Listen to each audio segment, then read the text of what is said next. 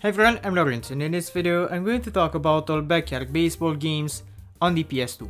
Backyard Baseball uses the same strategy as the whole franchise, only that this time it translates baseball into a casual and child-friendly game.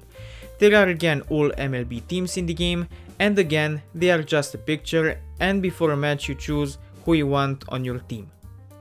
The controls are intuitive, but lack the depth of an MLB video game, because the game tries to be as simple and easy to pick up as it can be.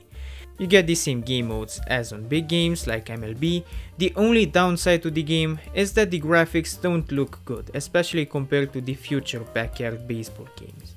Also the game is so slow, not just compared to future titles, but slow in general. Backyard Baseball 2007 cranked up the difficulty because so many complained about it in the previous iterations on other consoles. And now, some people complain that it's more difficult. You can't please anyone, I guess.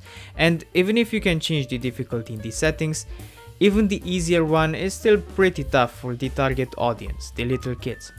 Hitting can be challenging even with auto aim because 2007 borrowed from the simulation games the controls are complicated for kids because there are so many options and so many button combinations. Also player stats are unbalanced, which will lead to unfair games. Also there are many bugs present in the game.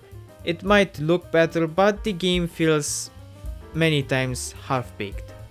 Backyard Baseball 2009 continues with the complicated control scheme.